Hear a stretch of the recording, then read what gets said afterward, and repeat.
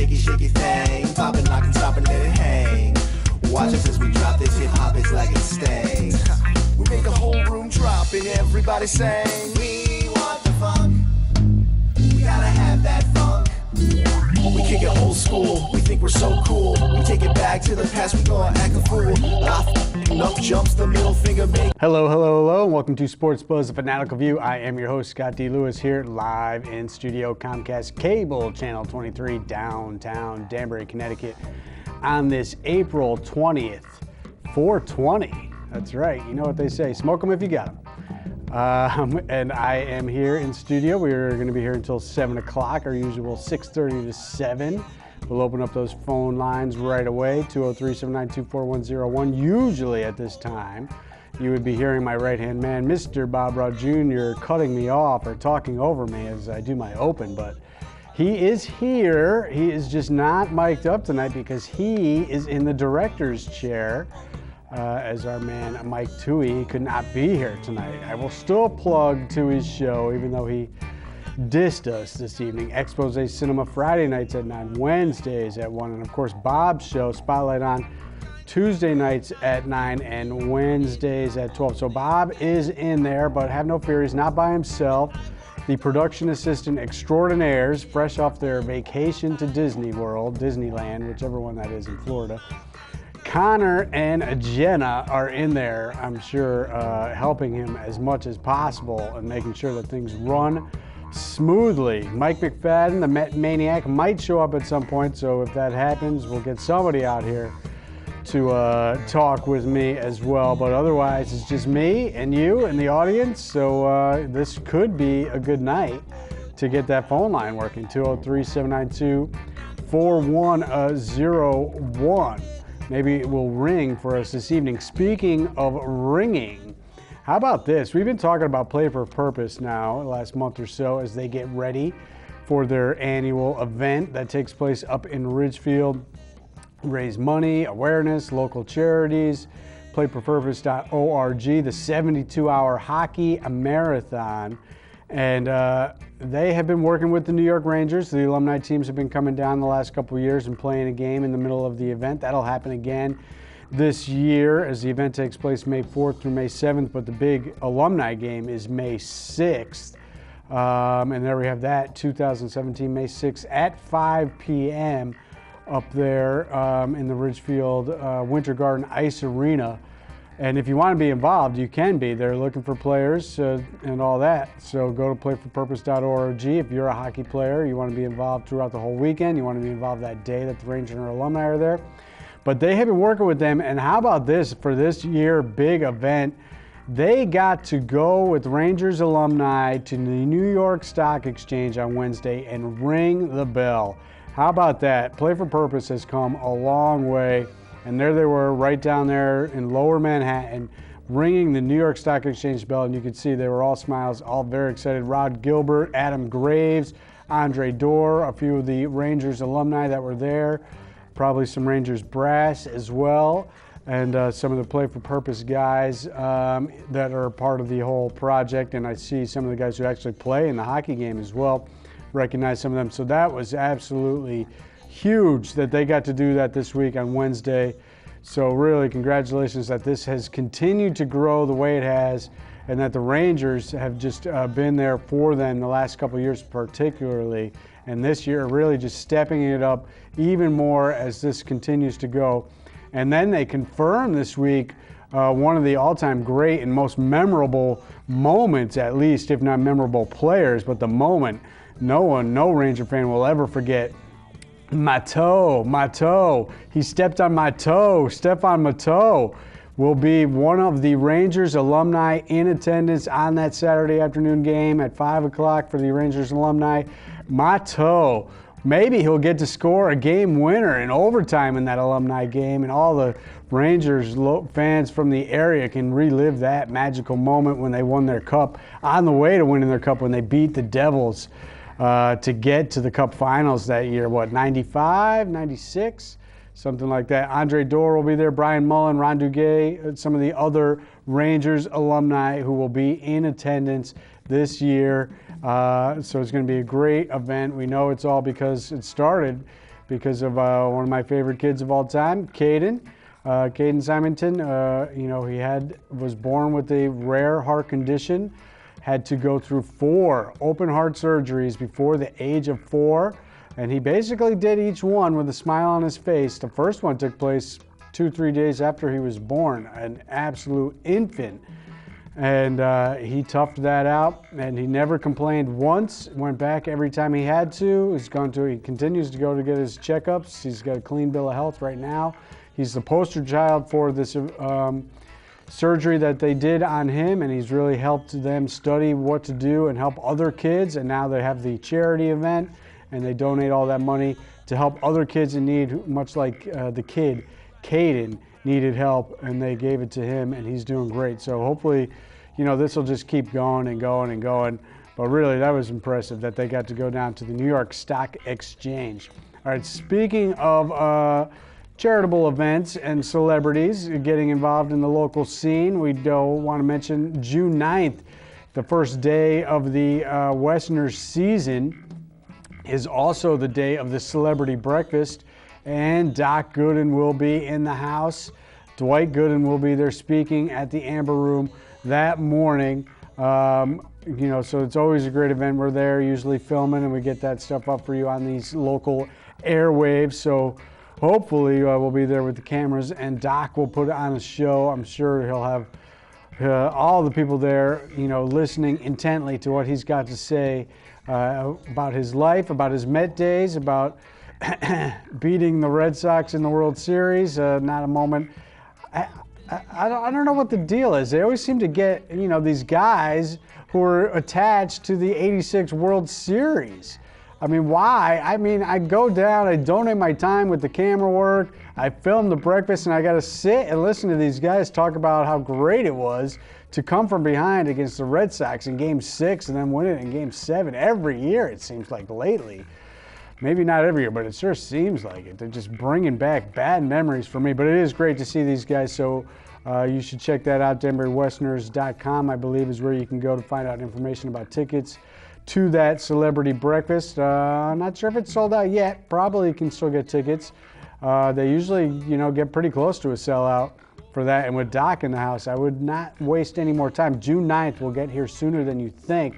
I mean, we're already almost to the end of April here. May is right around the corner, and the season will be beginning, and uh, we'll get to it. So uh, if you want to check that out, we've got Doc Gooden in the house. All right, let's change uh, the tone here actually to a negative tone. I do want to mention uh, something that happened. I was going to mention this anyways because I thought it was interesting that Aaron Hernandez was found not guilty in the double murder uh, that they tried to tag onto him after the guilty verdict he had on the single murder that took place in 2013. So he's been in prison now for four years. He's now serving life. Well, he was serving life without parole for the single murder. But the not guilty came in on Friday, which I thought was rather interesting. And then the stunning news came in yesterday morning that he was found dead in his cell, hung by a sheet they call it a suicide, of course, uh, and full investigation will take place. His lawyer says no chance in hell that he committed suicide.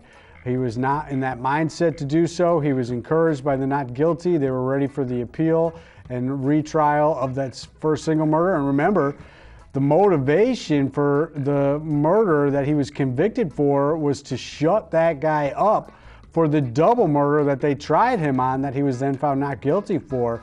So it does not seem to make much sense that he would take his own life now uh, at this point in time. Very, very strange. Assisted suicide, perhaps? A little jailhouse justice?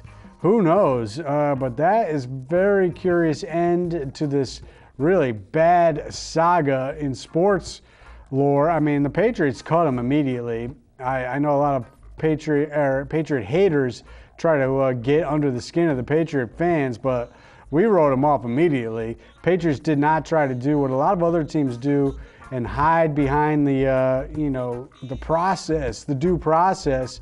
They caught him immediately, and we forgot all about him. But, um, you know, very interesting situation. And it happened on the day that the Patriots were down at the White House. First time a team who won a championship got to go visit the new regime. And interestingly enough, Tom Brady was joined those who did not go. 30 players did make it out of the 54. Not a great number for our boy Donald Trump.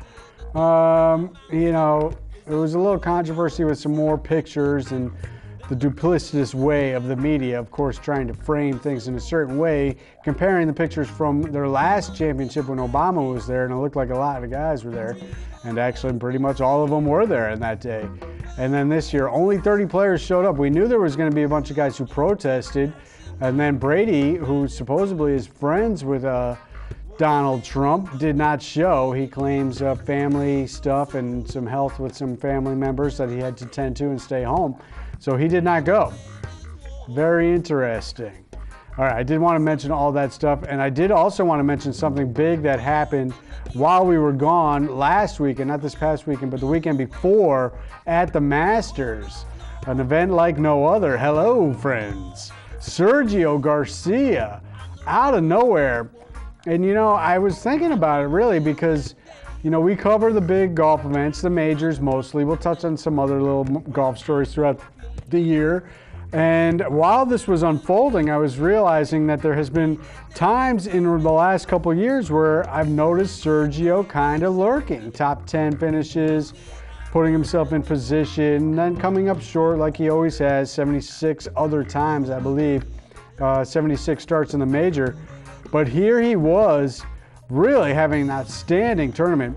And uh, he did struggle at a couple points, and then he rallied, huge eagle on the Sunday at the Masters, and he ended up winning in extras after he missed a putt that you thought might be his undoing. But he did get it done. So Sergio Garcia, hats off to him finally breaking through. Remember, for many years, he was viewed as the best player to never win a major. That kind of talk went away a little bit in recent years as, you know, he lost so many times and other young players were coming up and he was not really the story anymore. Justin Rose right there uh, probably felt pretty bad about his final performance, but you know it did turn out to be pretty good. And the Spaniard, El Spaniard, gets it done. Sergio Garcia gets it done. So I did want to mention that it was a major. It did happen while we were away, and uh, I wanted to mention that. All right, before I get to five days of Boston sports viewing hell, I will say that the Red Sox touched a little sunshine on the Boston fans this afternoon as they took two out of three from Toronto. They had an afternoon game up there and they won four to one in extras. We'll get a little bit more into baseball later in the show, but I did want to mention that in case any Boston fans out there are still feeling the sting of the last five days of playoff action that has not gone well. Let's break it down. Five days of hell. Saturday afternoon, the Bruins playing in Ottawa. They had already won game one. They were up three to one in the third period. About 10 minutes to go, looking like they were going to come home up 2 0. They give up a weak goal, then a great goal. They go to overtime and they lose that game 4 to 3. And all of a sudden, the series is tied 1 1. That evening, news breaks of the horrific tragic death of Isaiah Thomas, who had one of the great seasons of all time in Celtics history, and certainly one of the great seasons of a little man in uh, NBA basketball history. Really, he was an MVP candidate, the whole bit. And his sister passes away in a one car accident in his home state of Washington, a million miles away from where he was in Boston. So now it's just a grieving Thomas, and what is he going to do? He does gut it out and goes to game one and tries to play through it. Actually, comes up with an amazing performance, all things considered 33 points, but the Celtics fade down the stretch against the Bulls, lose game one. Uh, what was the score in that game? Uh, 106 102 on Easter Sunday as they're all feeling the pain and trying to comfort their man, Isaiah Thomas. and it was not to be as they faded down the stretch. Monday, we look to turn the page, Boston fans, and look for the uh, Bruins to get back on track and go back up in the series, but no, they fall behind 3 0. Then they rally with three quick goals over a six minute period in uh, the second period of that game to tie it at three. They have all the momentum. They put plenty of pressure on the Senators in the third period, but they can't get the breakthrough goal. They end up going to overtime where they are given one of the worst penalties you'll ever see. Um, the announcers really went crazy on this, couldn't believe the call against the Bruins on what should have been a power play for the Bruins because there was an illegal hit to the head of a Bruins player and then he retaliated and they put the Senators on the power play. The Senators end up getting the power play goal, win it 4 3 in overtime. So now the Bruins, after should have been up 2 0, now find themselves down 2 1. Tuesday comes around. And my suspicion was true. I figured if there was any chance Isaiah Thomas would have a good game, it would be in that first game and he did with the 33 points, you know, still kind of new and feeling the emotion, but he was wilted and uh, more fatigued in game two on Tuesday. And the Bulls bullied them, and they uh, maybe possibly bullied them into quitting as they went down 111 97. As I see my man Mike McFadden walking into the studio. Uh, so he'll be joining me. He's going to get his microphone uh, on the chair there, Mike, and mic yourself up, and you can sit there. The cameras are all set. It's connected. Just attach your mic right to yourself, and you'll be good to go. Uh, you don't need to touch any of the cameras, Mike. They're good to go. Just get your microphone on your thing, and you'll be good. So Tuesday, the Celtics lose 111-97. Thomas only has 20 points in that game, and you can see he's clearly fatigued as he loses or he misses six free throws. He's a 92% free throw shooter on the season, so you know he's not right as he misses his free throws. He didn't really hit any big three point shots in the game, and you can see the effects of what is happening to him and his fam- family really wearing him down and his teammates as well. So they, the one seed against the eight seed, go down 111 97. You might want to get the headset on, Mike, so you can hear your director's instructions. Uh, maybe you unplug from over there as I instruct my man Mike what to do here. Um, and then when it's back Wednesday, Bruins lose 1 0 to complete the five days of hell uh, as they go down now 3 to 1 when they were in good position to be up 2 0 and in full control of the series. Now they suddenly find themselves down uh, 3 to 1 as they lose 1 0 last night, get shut out at home. Thankfully, both teams are off today to give us a little peace and Isaiah Thomas flew to uh, Seattle to be with his family. He does plan on being back with the Celtics tomorrow night in Chicago.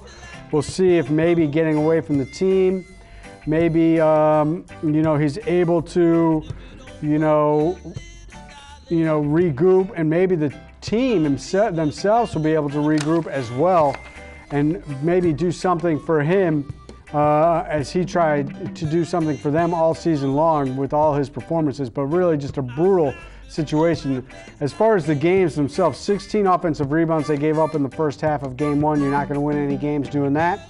They did not uh, get the memo as they gave up 10 first quarter offensive rebounds in game two. Robin, Colin Moses, Malone, Lopez went nuts for 18 points and grabbed offensive rebounds galore in the uh, game two as they just, you know, manhandled them. And really, it was just not good. And you got all the secondary Bulls players making shots. Uh, really, guys you never really heard of. And you got Rajon Rondo tormenting his former team, getting nearly a triple double. D Wade coming up with some big shots. Really, just a horrible situation for the Bruins or Celtics as they're an eight seed going against a one seed. Off the top of my head, I can remember the Knicks won as an eight seed in the lockout shortened season of 2000, I believe it was. And then the famous time was when the Nuggets knocked off the Sonics, Seattle, uh, in the mid 90s. Dikembe uh, was the big man in the middle for Denver, boy, back then, the rich, creamy Nuggets. Um, the other action in the NBA I want to get to. We'll break down some of the other series. Washington is up 2 0 on the Hawks with their 114 107 and 109 101 victories at home. That series shifts to the ATL next. Toronto is in a dogfight right now. They lost game one against the Bucks, but they did rebound 97-83 as they were shut down in game one, 106-100. That game was tied late as the Greek Freak coming up big for Milwaukee. That series shifts, tied 1-1 to Milwaukee now. Toronto has their hands full.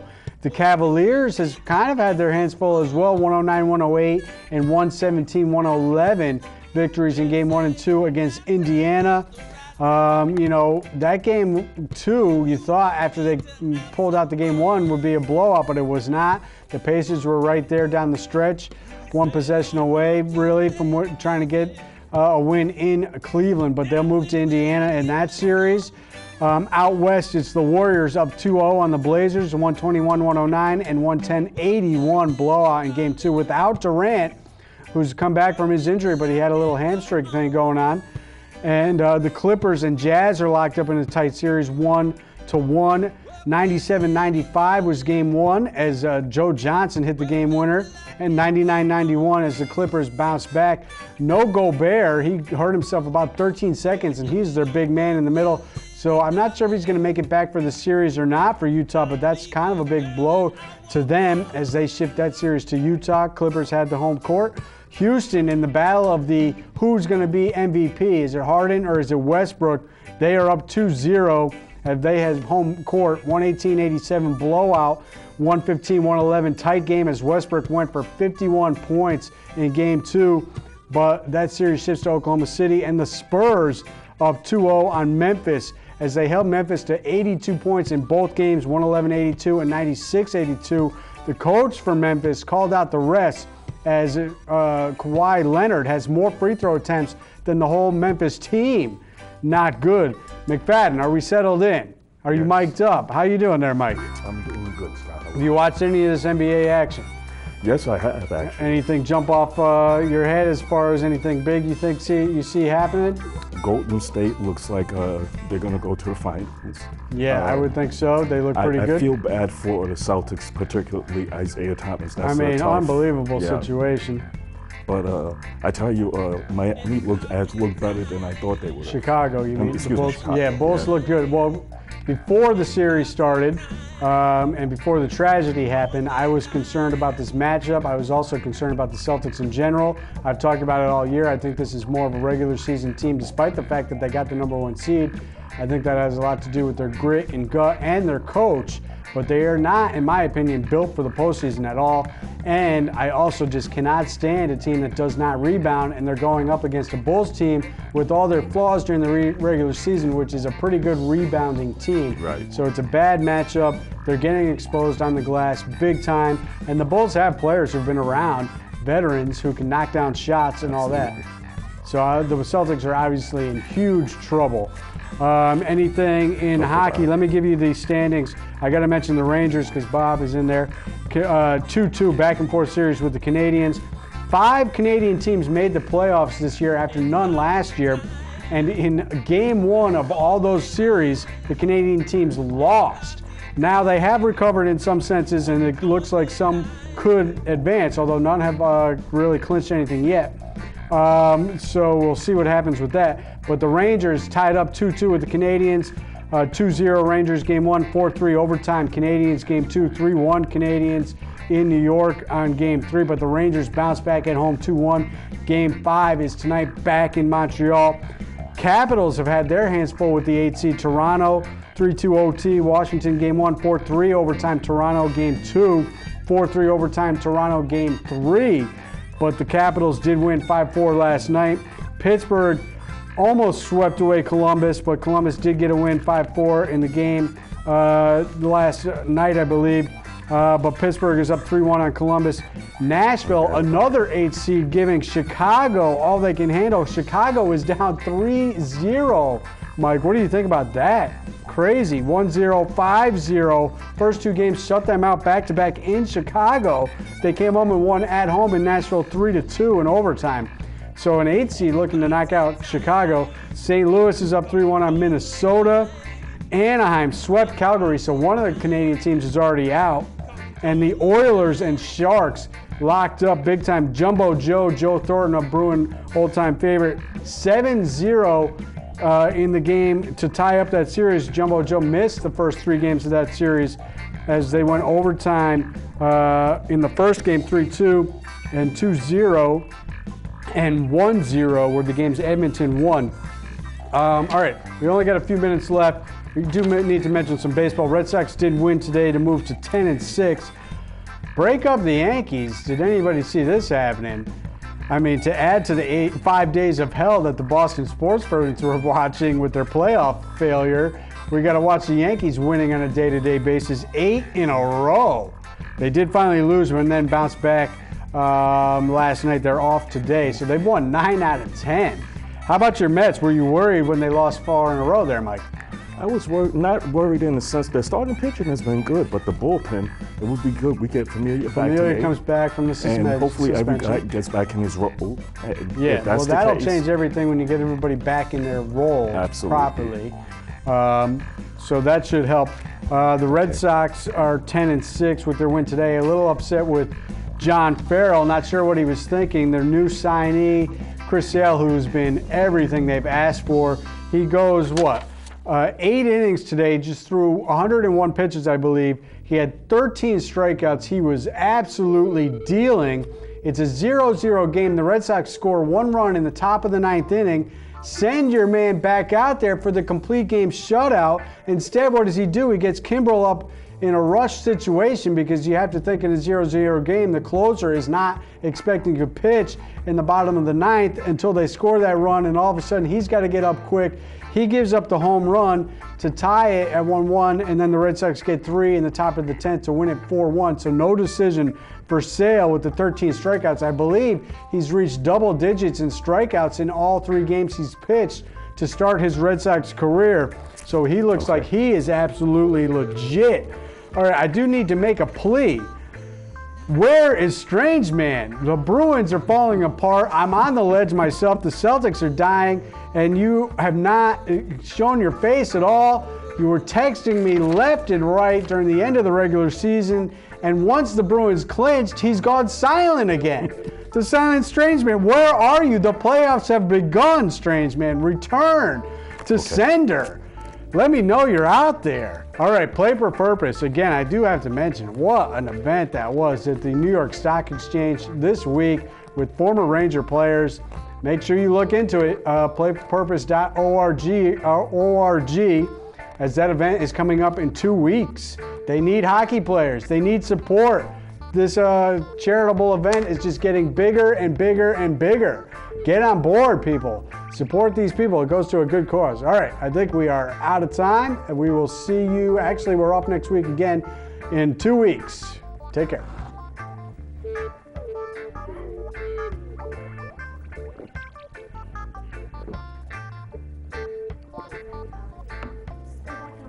No.